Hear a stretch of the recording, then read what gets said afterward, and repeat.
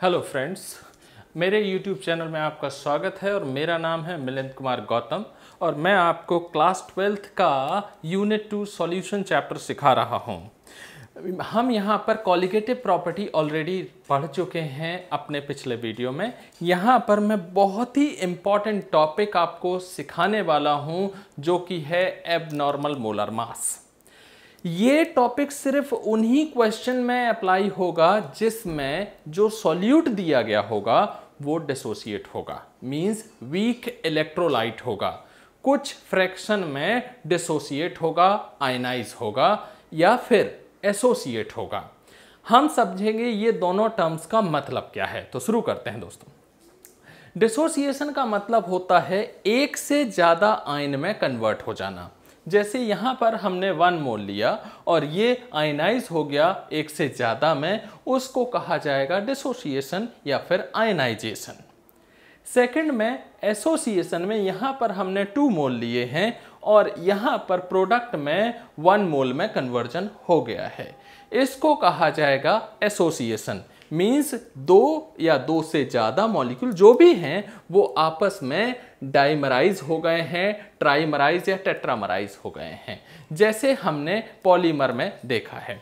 यहाँ पर दो मॉलिक्यूल आपस में एसोसिएट हुए हैं तो इसको कहा जाता है डाइमराइजेशन तो ये है डाइमर फॉर्मेशन यहाँ पर जो दो मॉलिक्यूल हैं, वो आपस में एक दूसरे से हाइड्रोजन बॉन्ड से अटैच हो जाते हैं। कुछ इस तरीके से। ये बेंजोइक एसिड एक मॉलिक्यूल दूसरे मॉलिक्यूल से हाइड्रोजन बॉन्ड से अटैच हो गया है।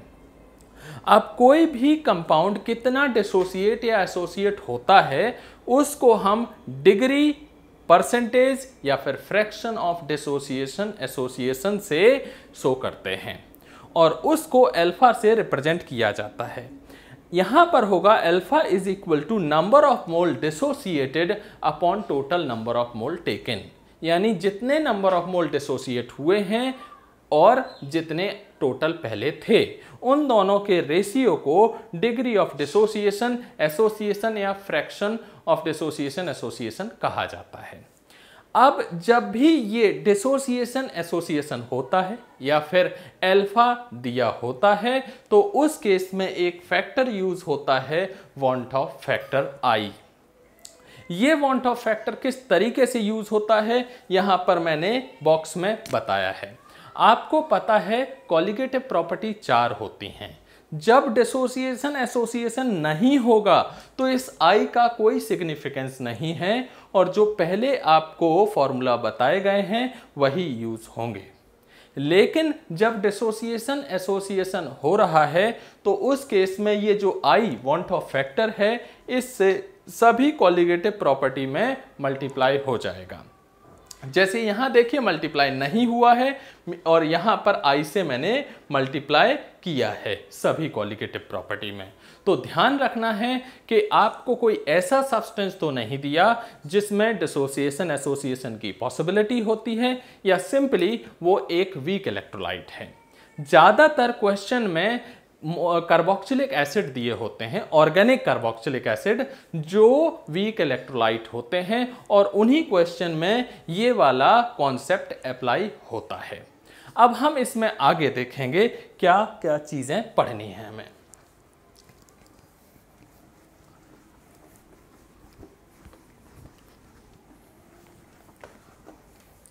अब यहाँ पर एक और चीज़ है, देखिए, जैसे एल्फ आई से एल्फा निकालते हैं एल्फा से के ए। आई होता है वॉन्ट ऑफ़ फैक्टर एल्फा होता है degree of dissociation oblique association और उसी से के निकलता है। यहाँ पर जो के है, वो है dissociation constant of acid constant of acid ये है के ए। दो दोस्तों क्वेश्चन में जब के दिया है, उसका मतलब भी यही है कि सब्सटेंस डिसोसिएट या एसोसिएट हो रहा है। अब उसके बाद क्वेश्चन ये उठता है कि ये आई कैसे निकालेंगे? तो सबसे पहले हम आई निकालने का तरीका सीखेंगे। आई निकालने का पहला फॉर्मूला है ऑब्जर्व्ड कॉलिगेटिव प्रॉपर्टी जिसको मैं कहूँगा O C P upon calculated colligative property यानी C C P O C P always given in question ध्यान रखिएगा given in question and C C P calculated by given data. जो भी आपको data दिया गया हो, उससे आप सीसीपी यानी कैलकुलेटेड कॉलिगेटिव प्रॉपर्टी फाइंड करेंगे। ये है पहला formula observed colligative property OCP upon CCP दूसरा फॉर्मूला है I is equal to normal molar mass upon abnormal molar mass ये है आपका दूसरा फॉर्मूला। नॉर्मल मोलर मास दोस्तों कैसे निकालते हैं? जैसे हम आज तक निकालते आए हैं, ग्लूकोज का मोलर मास 180 होता है, कैसे निकाला? कार्बन, हाइड्रोजन, ऑक्सीजन इनके मास को ऐड कर दिया निकल गया। तो मतलब नॉर्मल मोलर मास वही है जो हम आज तक सभी एटॉमिक मास को ऐड करके निकालते हैं। अब हम समझते हैं ये एबनॉर्मल मोलर मास क्या चीज़ है। अगर हमने यहाँ पर एक कॉलिगेटिव प्रॉपर्टी ली W2 two upon M two into one thousand upon W one into K B ये जो चीज़ है, यहाँ पर जो M2 है, जो डेटा दिया गया है, उसको पुट करने के बाद जो एम टू निकलेगा, वही होगा आपका एबनॉर्मल मोलर मास जो डेटा दिया गया होगा, उसको कैल उससे कैलकुलेट करके जो आप मोलर मास ऑफ़ सॉल्यूट यानी M2 फाइंड करेंगे वो होगा एबनॉर्मल मोलर मास ये है आपका दूसरा formula normal molar mass upon abnormal molar mass अब हम देखेंगे एक थर्ड फॉर्मूला देखें क्या है वो. तीसरा है I is equal to total number of moles after dissociation association upon total number of moles before dissociation association यानी एसोसिएशन डिसोसिएशन कोई एक प्रोसेस होगी एक क्वेश्चन में। उसके बाद कितने मोल्स हैं और डिसोसिएशन एसोसिएशन के पहले कितने मोल हैं। दोस्तों, इस क्वेश्चन को मैं इस इस फॉर्मूले को एक क्वेश्चन के थ्रू ही समझा सकता हूँ। तो देखिए क्या है वो क्वेश्चन क्वेश्चन निकाल लीजिए एग्ज़ाम्पल 2.12 क्या है? देखेंगे।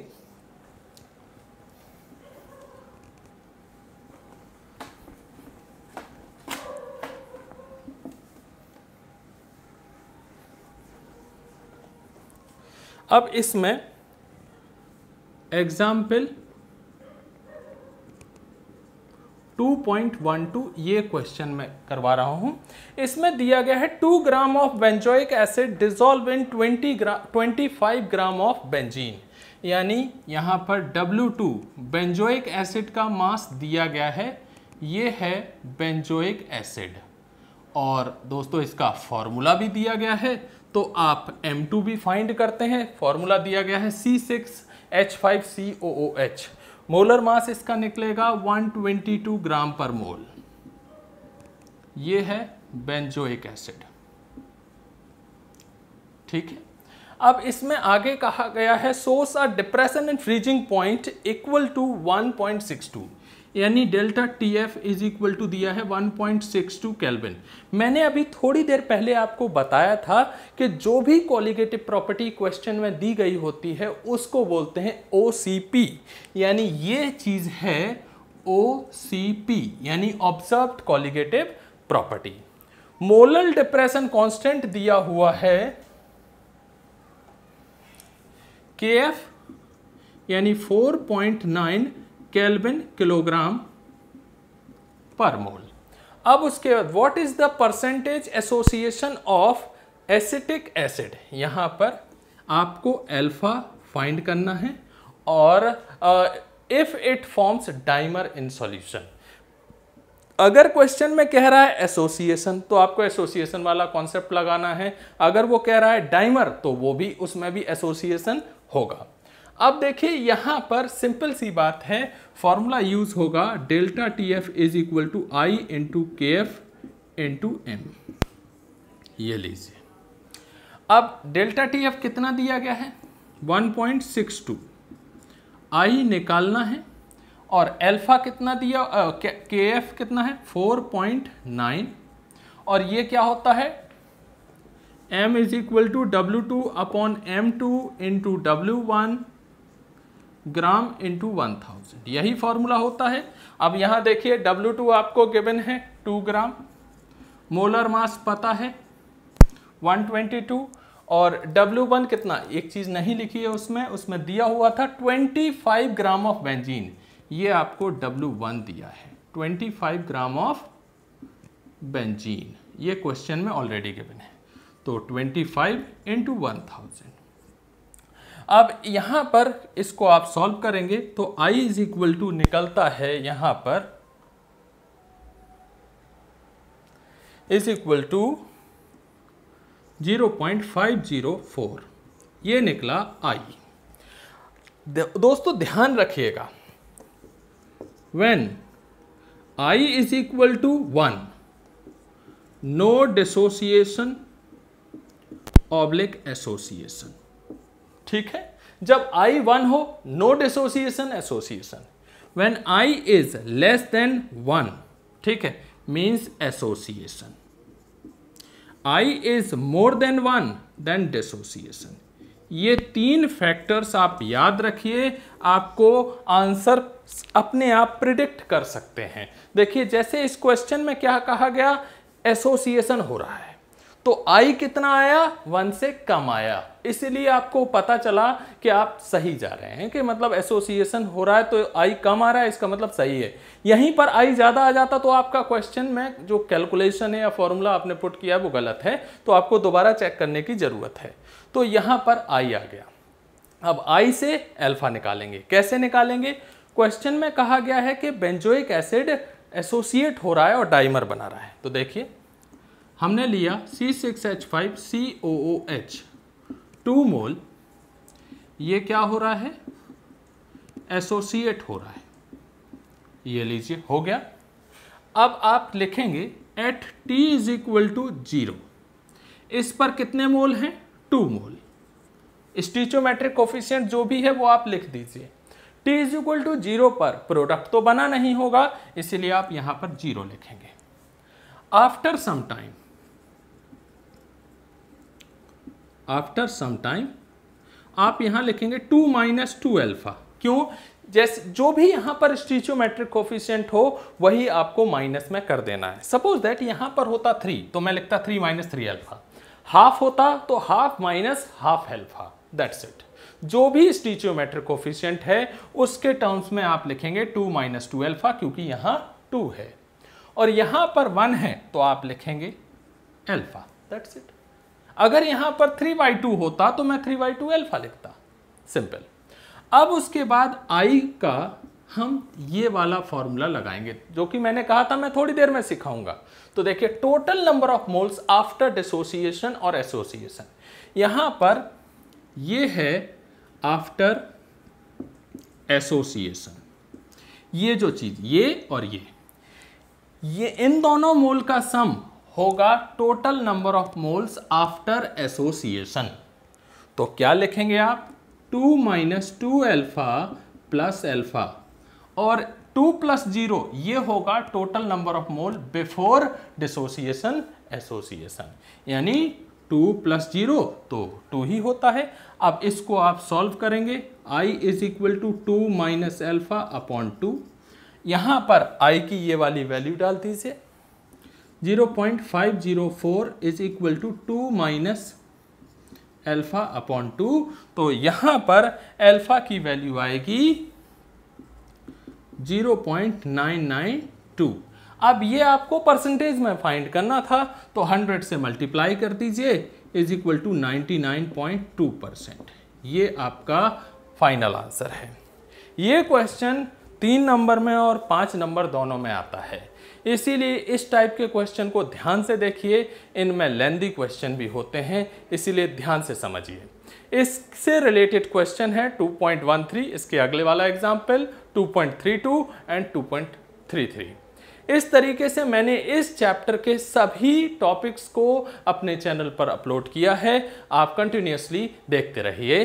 अब मैं अगला chapter पढ़ाऊँगा aldehyde ketone and carboxylic acid part two का थर्ड चैप्टर यानी यूनिट ट्वेल्व ठीक है? Thank you